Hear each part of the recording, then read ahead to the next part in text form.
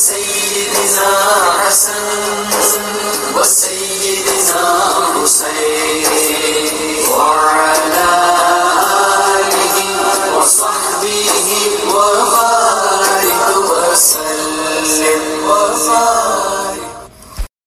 السلام علیکم ورحمۃ اللہ وبرکاتہ آج بات کرتے ہیں حضرت ختیجۃ القبرہ رضی اللہ تعالی عنہ کی پہلی شادیوں کی اور ان سے جو اولاد ہوئی۔ کیونکہ سوال یہ آیا ہے کہ کیا وہ اولاد مسلمان ہوئی کہ نہیں؟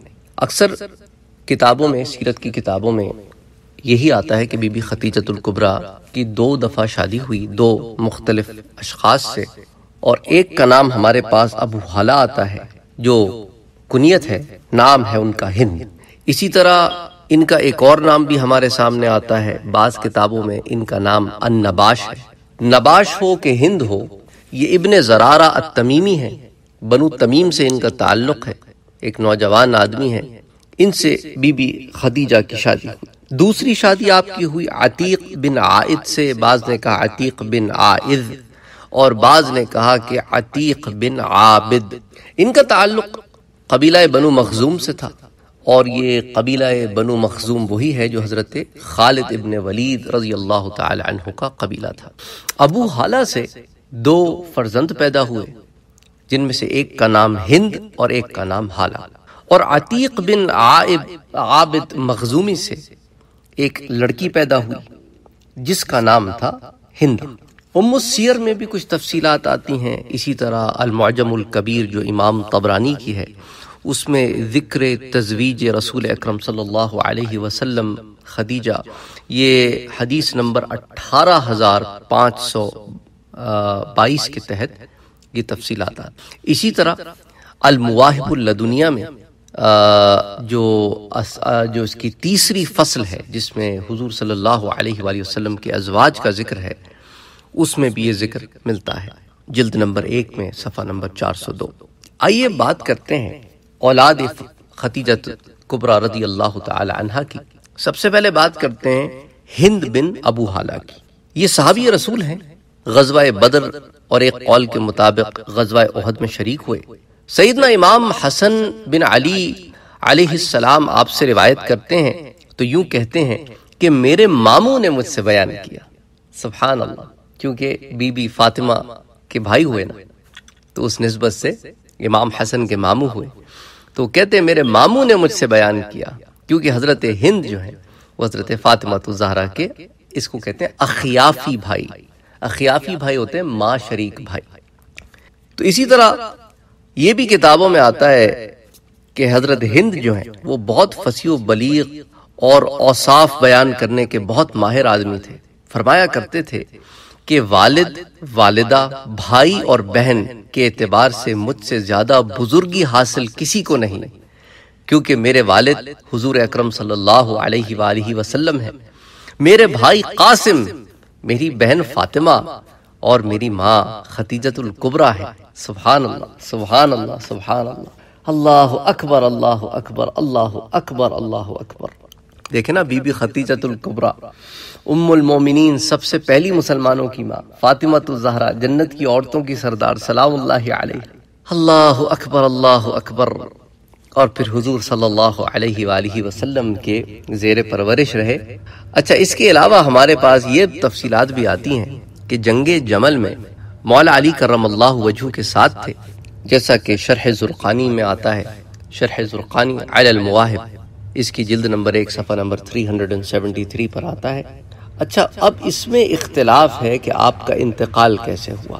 بعض نے کہا کہ آپ جنگ جمل میں شہید ہو گئے۔ لیکن علامہ سہیلی کہتے ہیں کہ نہیں، آپ جنگ جمل کے بعد بسرے میں آباد ہو گئے اور یہیں رہے۔ اور جب بسرے میں وبا پہنچی اور تعاون پھیلا، تو اس کے نتیجے میں کئی ہزار لوگ ہلاک ہوئے۔ بلکہ کہنا چاہیے کہ شہید ہوئے، کیونکہ تعاون جیسی وبا جو ہوتی ہے، تو اس میں جو فوت ہو جاتے ہیں، انہیں شہادت ہی کا رتبہ ملتا ہے۔ تو پھر اگر صاحبان ایمان ہو تو ان میں پھر آپ بھی شہید ہو گئے۔ تو گویا یا جنگ جمل میں شہید ہوئے یا بصرے میں آباد ہوئے، تعاون کی وجہ سے شہید ہوئے۔ بہرحال اللہ تعالیٰ نے آپ کو ایک بلند مقام عطا کیا۔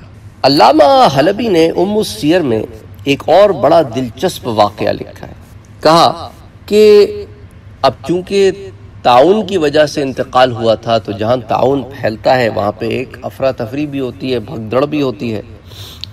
تو اس کی وجہ سے کیا ہوا کہ جو لوگ فوت ہو گئے، شہید ہو گئے، ان کے کفن دفن میں لوگ اس طرح نہیں جٹ سکے جس طرح عام حالات میں جٹتے ہیں۔ تو کسی نے جنازے کی طرف توجہ نہیں کی۔ تو چنانچہ ایک آواز بلند ہوئی کہ، آہ، اے ہند ابن ہند، افسوس، اے رسول اکرم صلی اللہ علیہ وآلہ وسلم کے پروردہ جب یہ آواز بلند ہوئی تو اس پکار کے نتیجے میں حضور صلی اللہ علیہ وآلہ وسلم کے پروردہ شخص کی میت کے احترام میں تمام لوگ اپنے جنازے چھوڑ کر اس جنازے کی طرف دوڑے اور اس کو اٹھانے کی کوشش کرنے لگے، جس کی وجہ سے امام حلبی لکھتے ہیں کہ صرف انگلیوں، لوگوں کی انگلیوں پہ ان کا جنازہ جا رہا تھا۔ اور آگے ام السیر میں وہ لکھتے ہیں کہ علامہ سہیلی نے اسے روایت کیا ہے۔ اسی طرح بی بی ختیجہ کے اسی انہی شوہر سے جن سے ہند ہیں، ایک اور بیٹے ہیں حالہ حالہ کو آپ انگریزی میں ہیلو کہتے ہیں۔ یہ جب روشنی ہوتی ہے نا، تو روشنی کے گرد ایک دائرہ بنتا ہے۔ اسے آپ حالہ کہتے ہیں۔ چاند کے گرد حالہ انگریزی میں ہیلو کہتے ہیں۔ آپ بھی ایمان لا کر شرف صحابیت سے مشرف ہوئے۔ شہنشاہ مدینہ قرار قلب و سینہ صلی اللہ علیہ وآلہ وسلم کو ان سے بہت محبت تھی۔ اس لیے ایک روایت آپ سے شیئر کرتا ہوں کہ ایک دفعہ پیارے آقا صلی اللہ علیہ وآلہ وسلم آرام فرما رہے تھے کہ حضرت حالہ رضی اللہ تعالی عنہ آپ کی خدمت میں حاضر ہوئے۔ حضور اقدس صلی اللہ علیہ وآلہ وسلم بیدار ہوئے تو انہیں سینہ اقدس سے لگا کر محبت سے فرمایا حالہ حالہ حالہ اللہ اکبر اللہ اکبر اللہ اکبر۔ اسے المعجم الاوسط میں، باب العین میں، حدیث نمبر 3794 کے تحت روایت کیا گیا ہے۔ اچھا اس میں ایک اور تفصیل بھی میری نظر سے گزری ہے، وہ بھی میں آپ کے سامنے پیش کر دوں۔ اور حضرت حالہ بن ابی حالہ کے بارے میں ایک روایت یوں بھی آتی ہے کہ جس دن انہوں نے اسلام قبول کیا، حضور اکرم صلی اللہ علیہ وآلہ وسلم بی بی عائشہ صدیقہ کے گھر میں آرام فرما رہے تھے کہ اچانک حالہ بن ابی حالہ کی آواز سنی تو حضور اچانک کھڑے ہو گئے اور حالہ کو اپنی آغوش میں لے کر خوشی و مسرت کی حالت میں پکارنے لگے حالہ حالہ حالہ تو پچھلی روایت میں اور اس روایت میں یہ موافقت پیدا ہو گئی کہ اس پہ یہ تفصیل نہیں ہے کہ یہ وقت، یہ واقعہ کب کا ہے اور اس میں یہ تفصیل ہے کہ واقعہ کب کا ہے، تو حضور صلی اللہ علیہ وآلہ وسلم نے انہیں اپنے سینہ مبارک سے لگا لیا۔ اب بات کرتے ہیں دوسرے شوہر عتیق بن عابد سے۔ عتیق بن عابد جن کا تعلق قبیلہ بنو مخزوم سے تھا، اور یہ وہی قبیلہ ہے جس سے حضرت خالد ابن ولید ہندہ جو ہیں، جو عتیق بن عابد مخزومی کی بیٹی ہیں۔ تو ابو حالہ کی کے انتقال کے بعد بی بی ختیجہ نے پھر عتیق بن عابد سے شادی کی۔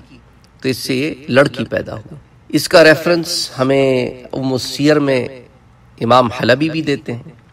المواہب اللدنیا میں بھی آتا ہے۔ الفصل الثالث فی ذکر ازواجی جلد ایک صفحہ چار سو دو۔ اور یہ بھی آتا ہے شرح زرقانی علی المواہب میں، اس کے جلد نمبر ایک میں۔ بی بی ختیجہ کی تزوج علیہ السلام ختیجہ بی بی ختیجہ سے شادی کرنے کے باب میں، جلد ایک صفحہ 373 پر، کہ آپ کو صحابیت کا شرف حاصل ہے، آپ ایمان لائیں۔ اور پھر کتابوں میں یہ بھی آتا ہے، جیسے ام السیر میں آتا ہے، ہند بنت عتیق بن عابد۔ ان کی چاچ، ان کی شادی جو ہے، اپنے چاچے کے بیٹے صفی بن امیہ بن عابد المخزومی سے ہوئی۔ ان کے والد کون تھے؟ عتیق بن عابد۔ ان کے چاچا تھے امیہ بن عابد۔ تو امیہ بن عابد کے بیٹے صفی سے ان کی شادی ہوئی۔ ان سے انہیں کئی اولادیں ہوئیں۔ جن میں سے ایک بیٹے کا ذکر جو ہے، وہ ام السیر میں علامہ حلبی کرتے ہیں، محمد ابن سیفی۔ تو انہوں نے اپنے بیٹے کا نام، حضور کے نام پر رکھا صلی اللہ علیہ وآلہ وسلم۔ تو معلوم یہ ہوا کہ بی بی ختیجت القبرہ علیہ السلام آپ نے حضور صلی اللہ علیہ وآلہ وسلم سے شادی فرمانے سے قبل دو دفعہ اور رشتہ ازدواج میں جڑی اور ان سے جو اولاد پیدا ہوئی وہ کل تین تھیں، ہندا حالہ اور ہند۔ اور یہ سب کے سب ان کو شرف ملا کہ درجہ صحابیت پر فائز ہوئے اور ان کے مختصر حالات جو کتابوں میں آتے ہیں وہ میں نے آپ کے سامنے رکھے۔ السلام علیکم ورحمۃ اللہ وبرکاتہ۔ اگر آپ نے ابھی تک ہمارے چینل کو سبسکرائب نہیں کیا ہے تو سبسکرائب کا بٹن دبائیں، بیل کے آئیکاؤن کو پریس کریں تاکہ آپ کو ریگولر نوٹیفیکیشن اپڈیٹ مل سکے اور آپ ہمیں ہمارے لائیو سیشنز میں بھی جوائن کر سکیں۔ ویڈیو پسند آنے کی صورت میں لائک شیئر اور کمنٹ کرنا نہ بھولیں۔